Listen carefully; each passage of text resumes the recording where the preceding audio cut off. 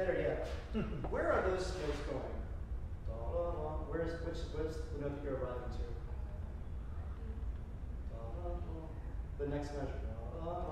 Okay, but you're going The very first note you use almost all your bow.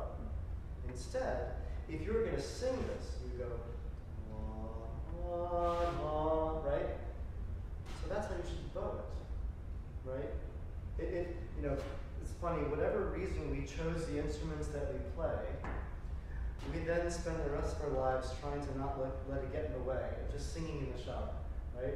If, if Yo-Yo Ma had been given a flute as a little boy, he'd be the greatest flutist.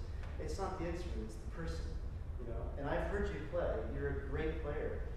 Can you sing this phrase for us just a little bit?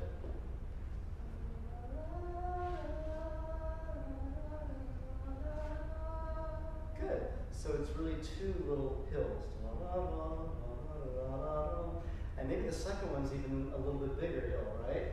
So can you try playing that without discussing technique? Try to internalize this idea and just let the viola sing what the heart already knows. Okay?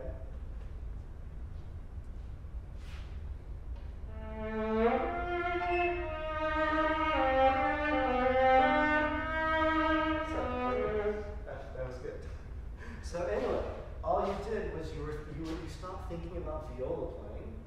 I can tell it was so clear that your bow was now completely a servant of your heart. And that's how we play. Okay? We don't do it the other way around.